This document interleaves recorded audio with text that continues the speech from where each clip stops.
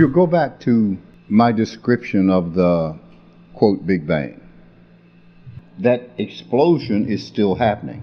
The effects of that, the energy of that is still happening. If you look at an explosion, everything moves away from that moment of inertia. Pow! Now, if you're talking a firecracker, it's only got so much juice, right? So the stuff is only going to go so far. But if you're talking the force of the universe, it may only go the, relatively speaking, it may only go the distance of the stuff from the firecracker, but it's so much bigger than you are, it seems like forever. That explosion, let's say, probably the first thing that is created is space itself. Because that stuff has to move someplace. So it's so hot that everything is in a kind of, and I'm going to use a word that's not really true, but doesn't really say anything, just gives you an idea. Super energy. Space is super energy. Okay? So that's created. Then the larger particles of energy move along this line. That's a matter of cooling over time. Time, you call the explosion T1. Okay? Somewhere around T2, it's cooled enough to become regular energy. Somewhere around T3, it's cooled enough to start to become hydrogen. Okay? Right? Now, something develops along that line. Suppose there's a civilization that's a million years past where we're developing here. It stands to reason that their minds, their technology would be far superior because they've had a million years jump. Okay? That's just in terms of the mass of this. Now, when we want to talk about the other side, it's a bit more complex. An electron moves through space as I'm drawing my finger along this line. But at the same time, that's a perception.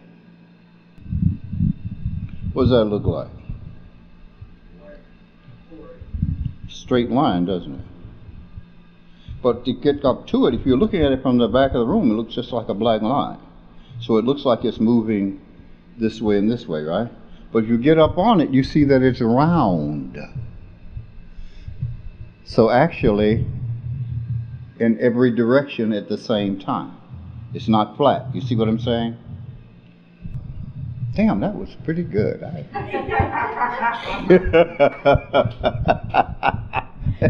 just thought of that. That's so it's moving in every direction simultaneously. Because of the speed of it, not only does it move in every direction in this reality, but the speed of it makes it go right here because it's traveling in other directions that you can't see. Right? Because of this, at any point along the lines of travel, a reality exists. That's what we call possibility and probability. In terms of what you saw in the dream, that was a probability. You're probably going to run into this guy or this person tomorrow. Another time, you will see the same thing and have the same effect, but it won't happen. Okay? Because something happened, a decision was made somewhere along that line that changed that whole line. So, you have probability and possibility. everything is possible, fewer things are probable. Okay. Now, as you move outside your way of sensing this, you sense a whole other reality with whole other rules. Now, in this reality, the rules follow this, the possibilities follow this. But then there's a whole set of stuff that happens before this happens. Reason or, or thinking, where was it before it happened? Had to be somewhere. Huh. It created space, but it had to be somewhere before it could create space. Gotta be. You see what I'm saying? So, you start to go, damn. And you do like I did. After I followed it so far, it's like, to hell with it. I got a football game to watch. I don't care anymore. it doesn't matter. What I know is this is the forever that is spoken of. Everything goes on forever. In quote death, it just means that because you have this form, that means that the frequency, the electron cloud that you call your body, is consummate with the law of your biomechanical sensors, your eyes, ears, nose, that.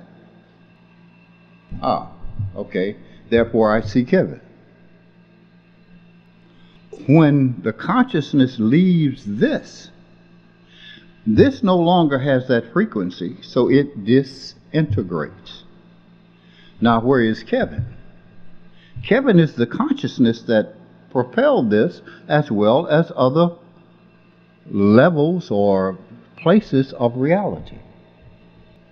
Kevin is there somewhere. Where's the where? Can't talk about that because it doesn't make any sense in this where. You're talking where. Your where, your boxes say this where. Well, well both where started off the initial explosion. Before. So all wheres that are somewhere started so then what did the explosion bring? Just, just this where. Something existed before this where that has just a tiny little bit to do with this where. Okay? You have to see it. Okay? If you just keep going with your process, you see it. But I'll tell you what my experience has taught me shut up about it. Why? Because most of the people around you don't see it and they go, What? Because they're in these little boxes. One of the things that hurt me the most in my life was school.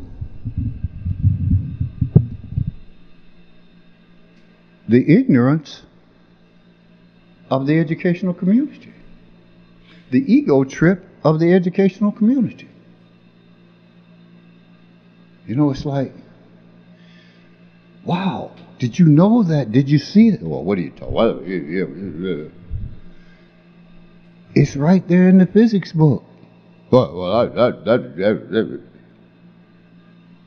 well, I think nobody gives a damn what you think. I don't care what you think. I don't care what I think. All I'm telling you is this is what I see.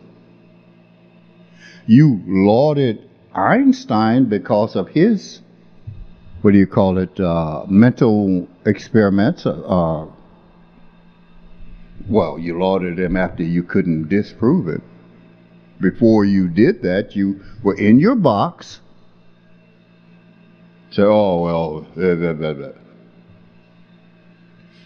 So, at one point, you'll begin to see it. I wrote a paper on the difference between uh, what do you call it? Hallucination and the reality of sight. What happened was, as I was hallucinating from the lack of food, water, and sensory uh, input, sitting in the dark, Well, just water. I had water. Absolute dark. I began to notice that uh, an hallucination happens in connection with a thought. You can actually watch the thought take form. But these other things are totally different. So I wrote the paper on hallucination and left out the other stuff. Because if I bring in the other stuff, some fool in his box who didn't have the experience will going to go, well, you can't empirically prove this. And I'm going to go, I wasted my time, so I'm just going to write. When you have hallucinations, this is what happened, this is what happens, this is what happened. There you go. Oh, fine work, A. You have to trust what you see, but you must be aware of what you see.